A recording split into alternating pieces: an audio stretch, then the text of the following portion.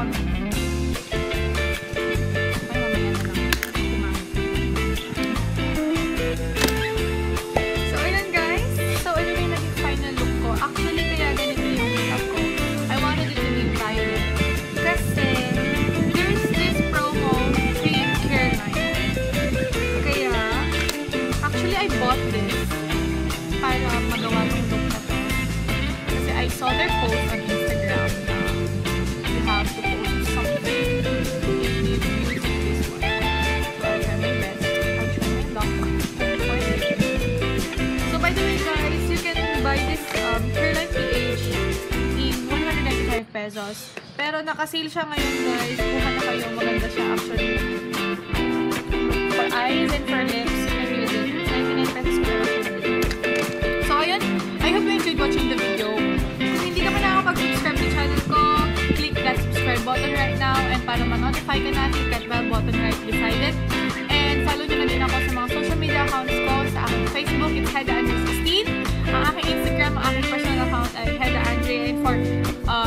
my makeup-related videos and pictures, it's Dalux. Also yung Twitter, Dalux. So, ayun guys. Um, again, thank you, thank you, thank you, thank you sa panonood.